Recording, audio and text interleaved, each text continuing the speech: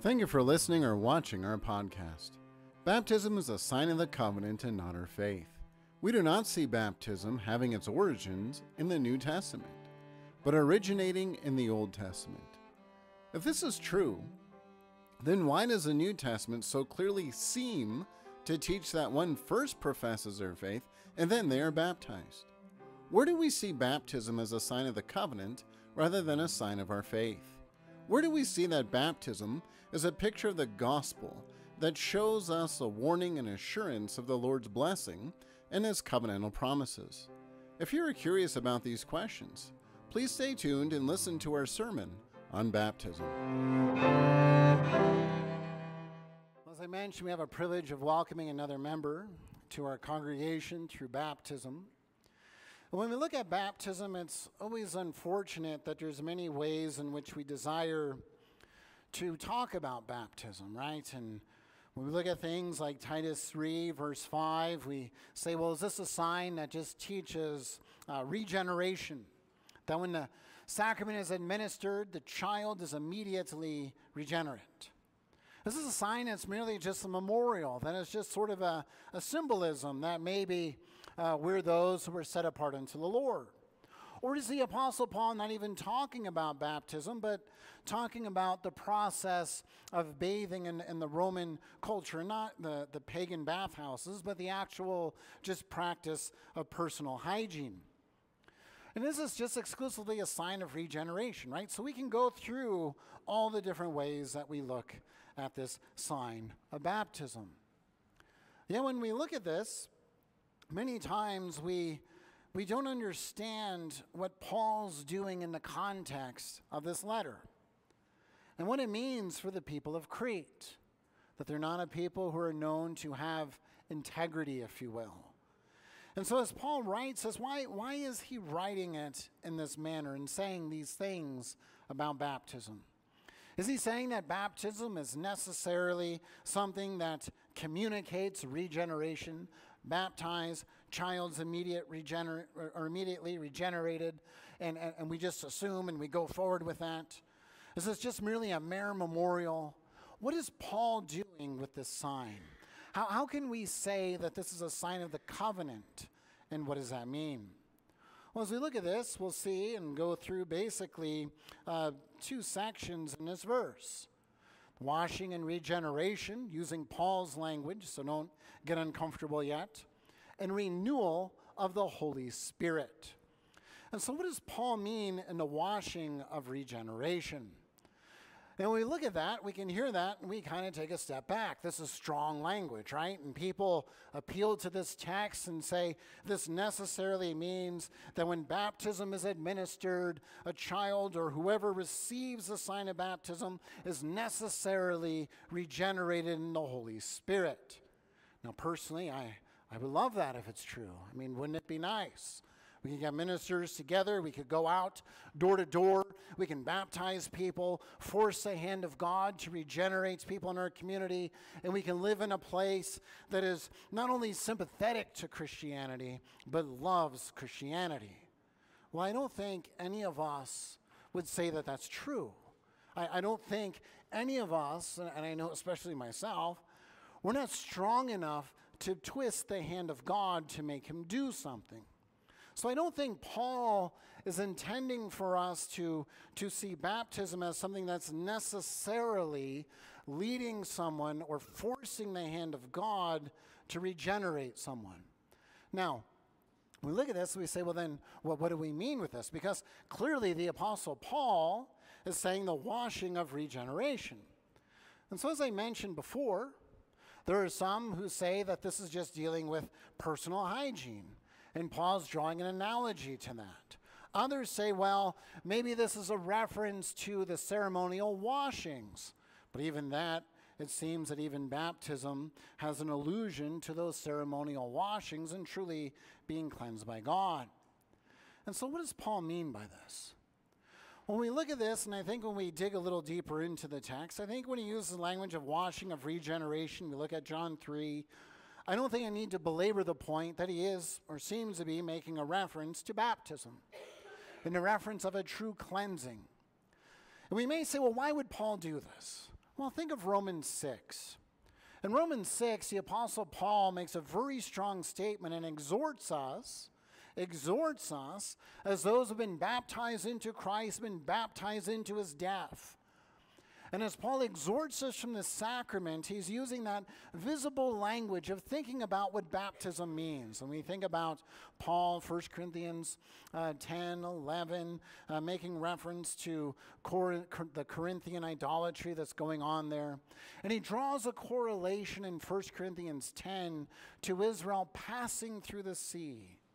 So in Romans 6, what he's doing there is he's reminding God's people of this symbolism you can find in the Psalms of passing through the depths of the water into the realm of death, the mysterious Sheol you can find in the Old Testament, right? And so they, they would have this mindset and this picture of one being cast into the depths of the sea, never to be heard from again. You can find uh, those references in Job, for instance, and other Psalms.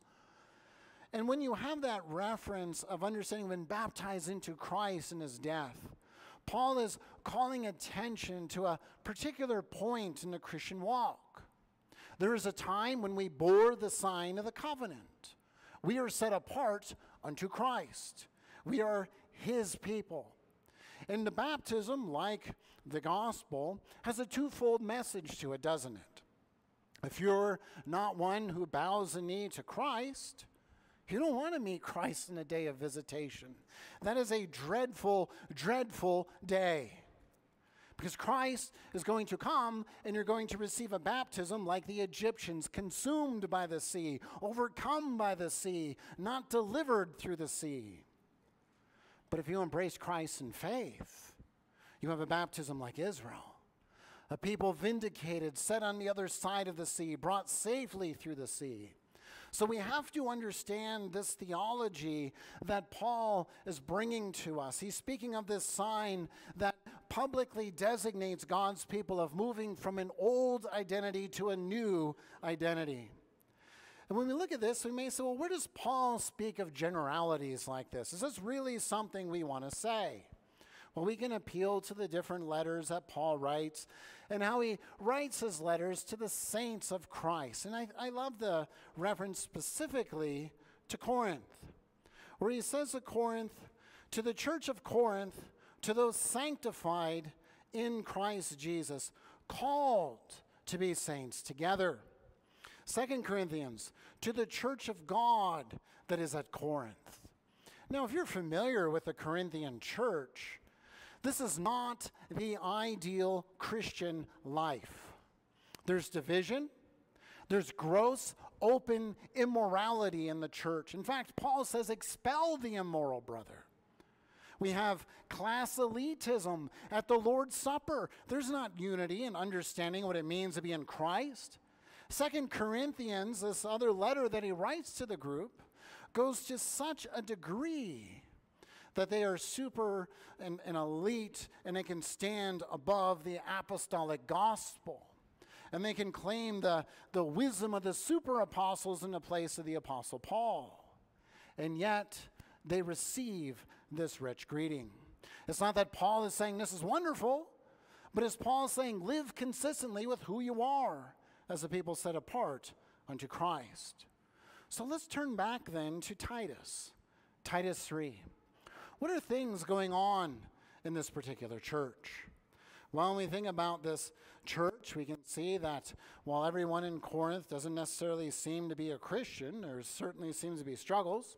Fact, Paul says, hand them over to Satan, let them be sifted, so that the hopes that he returns before the day of visitation, right?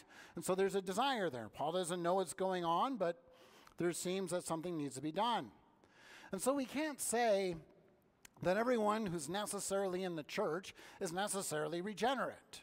But we can say that everyone who is in the church is in the covenant of grace with God as they bear the sign of baptism, right? They're designated at a particular point where they bear the sign of the covenant that they are set apart unto God. Not saying they're necessarily regenerate, not saying they're necessarily unregenerate, but nevertheless, they bear this sign.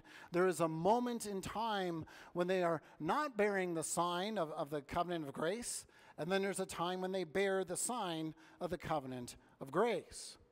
Now, we think about Paul using this language of the washing of regeneration. He speaks even in terms of the Trinity around this language, where he speaks of God our Savior. We normally think of God being our Father. So he wants us to understand it's God who's our Savior, moved by his mercy uh, to redeem, the Holy Spirit, and then he identifies Jesus Christ as our Savior. So, once again, identifying this uh, statement of who we are an identity that we are those set apart unto the Trinitarian God. But we also think of who is Titus. Well, what is his mission? What, what is his duty? Who is he? Well, Titus, we find reference that he's mentioned in Galatians 2, verse 3, a Gentile convert who is one who sets the precedent of uh, one who did not have to be circumcised as a convert.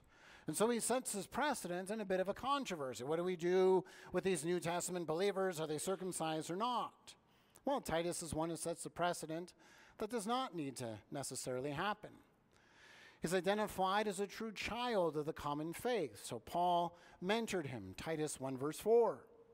He's a one who certainly is set here in Crete to set an order and to put elders in place so that he puts this church in order. And the Apostle Paul speaks of the identity of what who a Cretan is. I guess in our day and age, we say that language along these lines would get one canceled. But what does Paul say?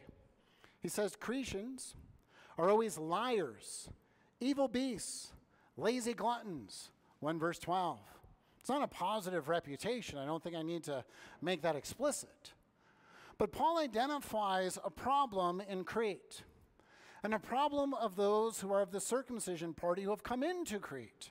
So he's saying basically Crete has their issues where they like to fight, they like to sort of stir up trouble and sort of probably get a little wild at the bar, if you will, put it in our day and age.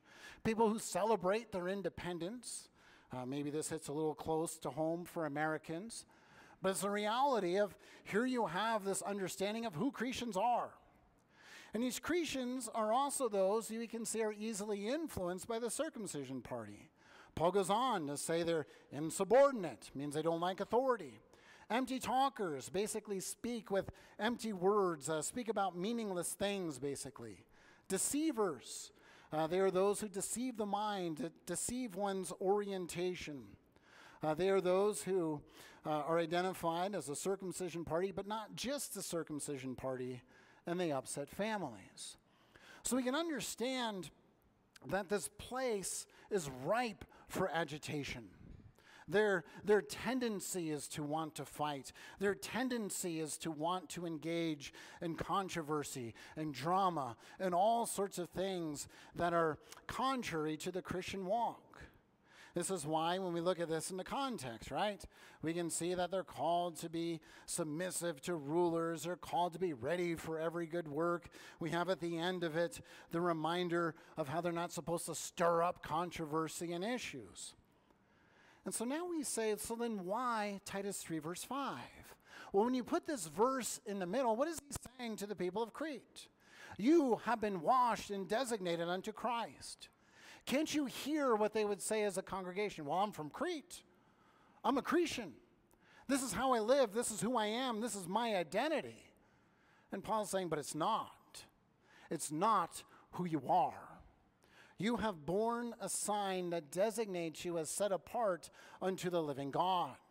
You are not a Cretan, you are a Christian. And you are called as one set apart unto Christ to bring glory to his name.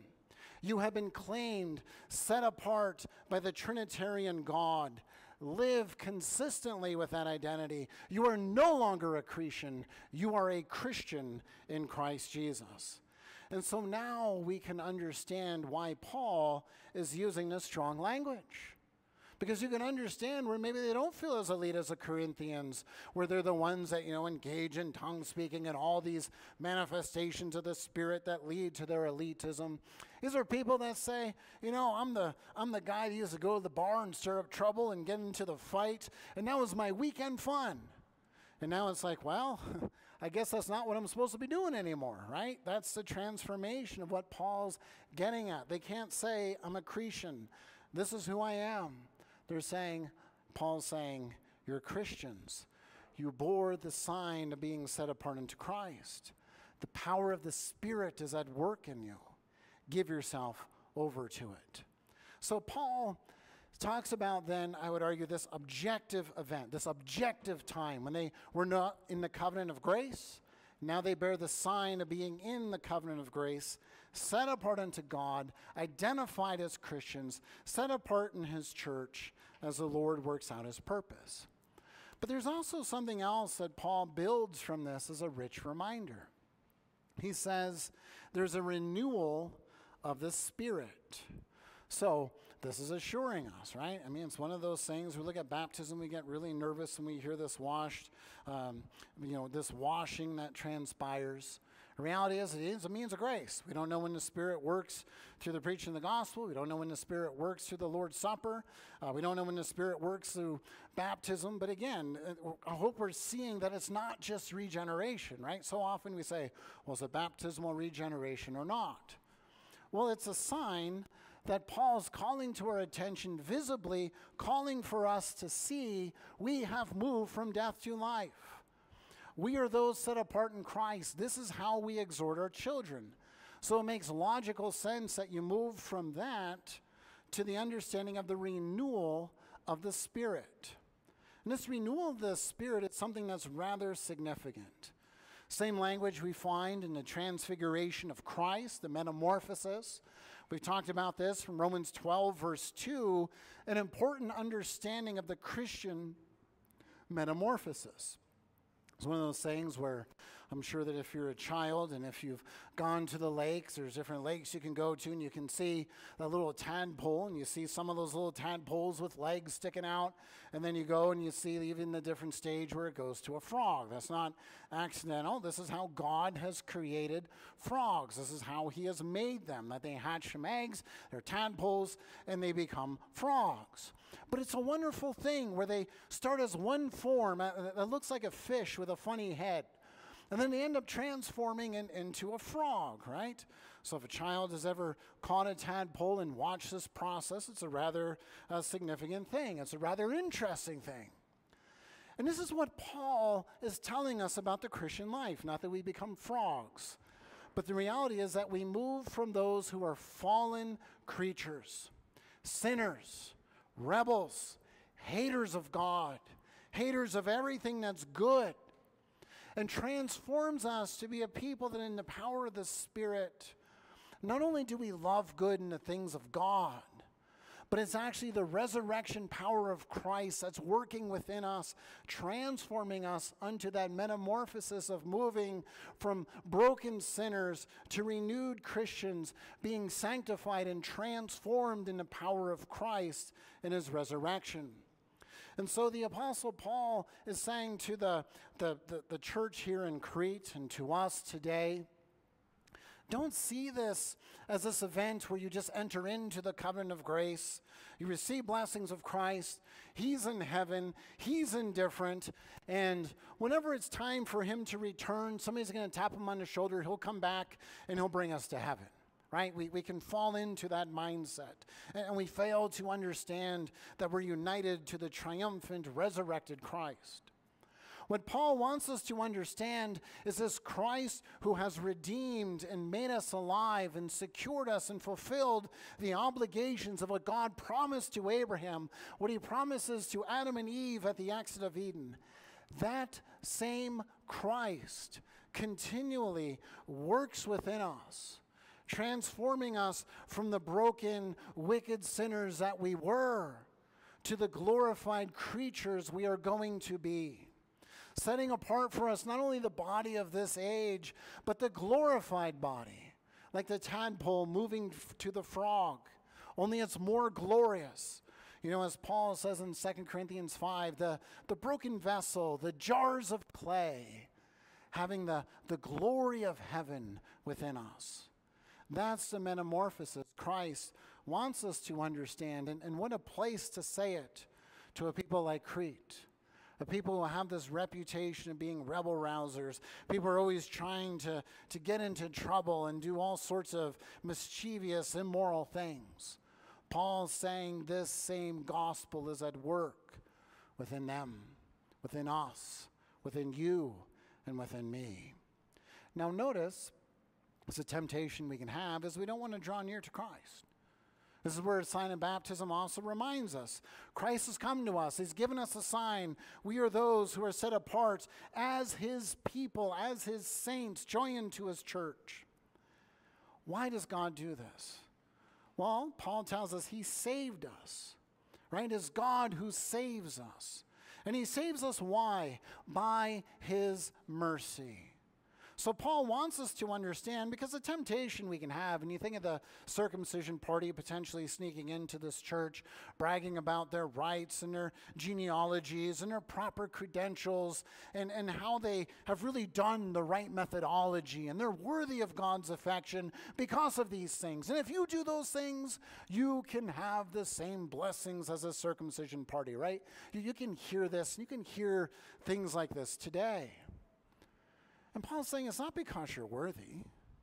None of us are worthy of God's redemption. It's because God is moved by his mercy. And this is something that is so overwhelming and beautiful that the Lord, in his providence, in his care, in his mercy, has taken a group of people and put them together in his church so that we actually begin to taste the blessings of heaven. Unfortunately, we don't always think of that in terms of our corporate worship when we gather together. But we are. We're joining together, enjoying the blessings of that heavenly worship. We are the Lord's people who have been set apart.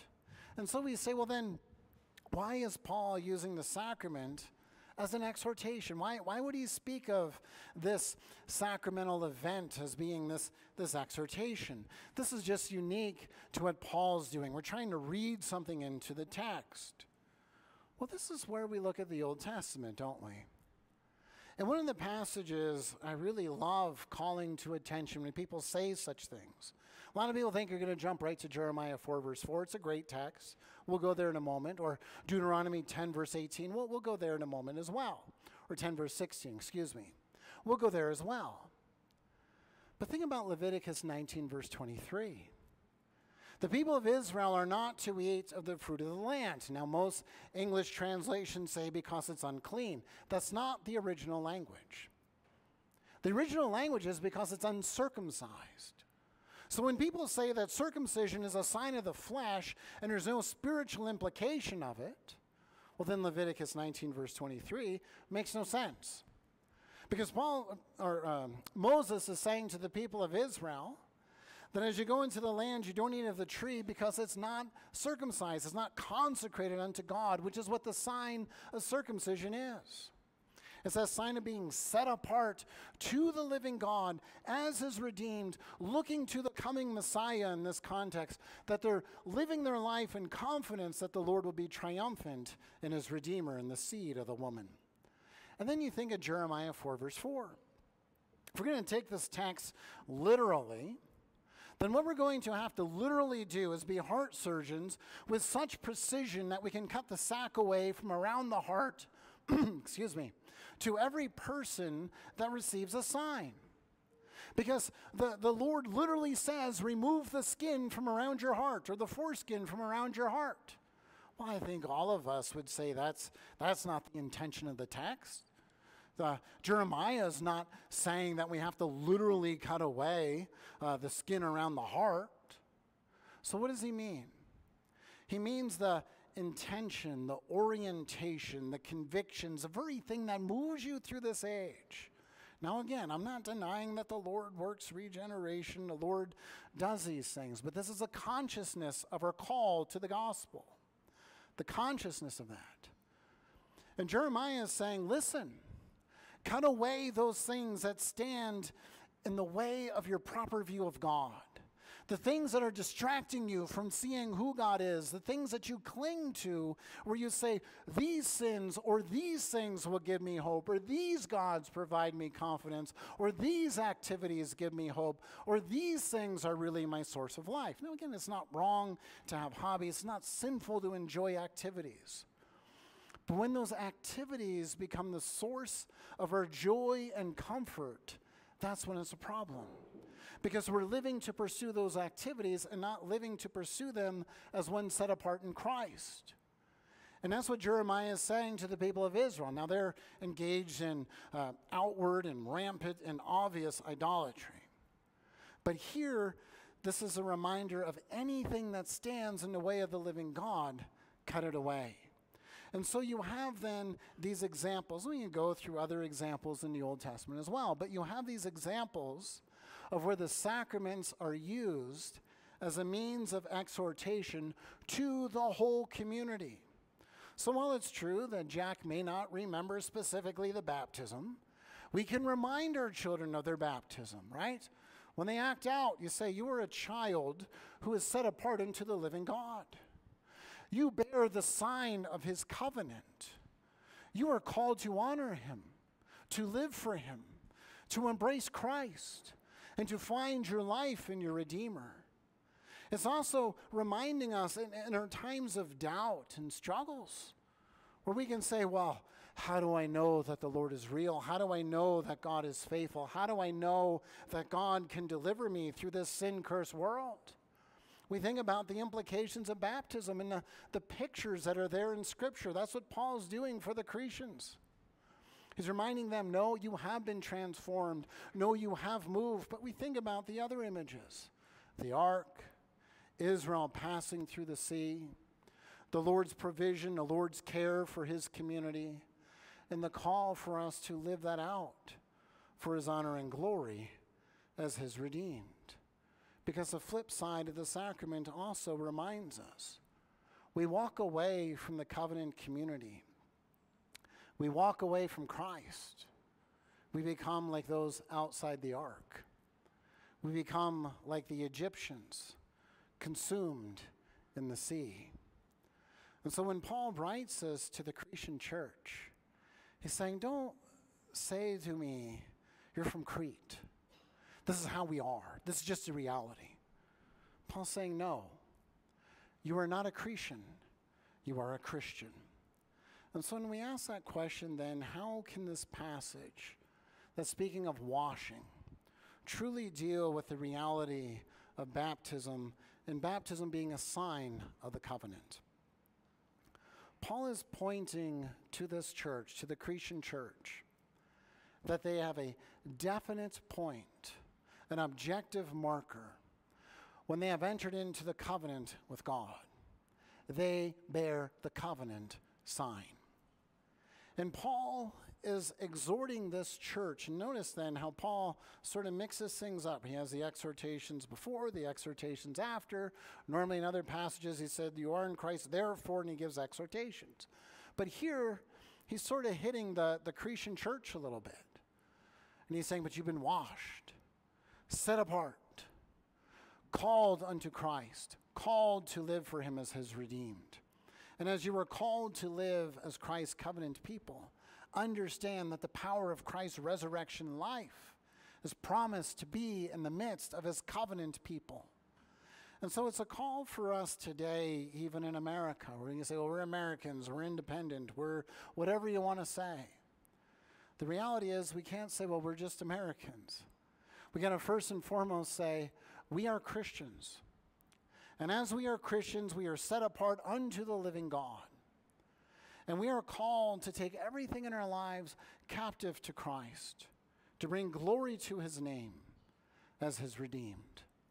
And so, as we saw in witness baptism this morning, it is a sign that reminds us again we are a people set apart into the living God a people who have passed through the sea of death, a people who have passed through hell itself as we take hold of Christ by faith. And as we take hold of Christ by faith, we're reminded by this sign we'll emerge unscathed because it is Christ Jesus who is our Savior. Let us then have the wisdom that as our children grow up in the faith, as the Lord is pleased to work in their lives at, at His timing and at His will, let us continue to exhort our children to live out the gospel for, for the Lord's honor and glory. Let us also, as parents, have the wisdom in terms of how we raise up our children, that we do so in the Lord. And let us understand that as parents, we all struggle to do this. And so to be gracious with one another as we live out this gospel as a redeemed community seeking to honor our God. Amen. Thank you for watching or listening to our podcast. Belgrade URC is a Bible believing Reformed confessional church that seeks to cultivate community around our Savior. If you desire to learn more about Christianity, please join us for worship each Sunday at 10 a.m. and 6 p.m. If you're not able to attend church, you can tune in to our Sunday live stream through our YouTube channel. Please subscribe to our current sermon series and weekly meditation through iTunes or your favorite podcast catcher. If we are not listed on your favorite podcasting host, please let us know through our webpage, urcbelgrade.com. You can also utilize our archive sermon series on our website, urcbelgrade.com.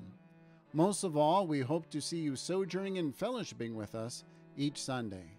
Until we meet again, may the Lord's blessing and peace be upon you.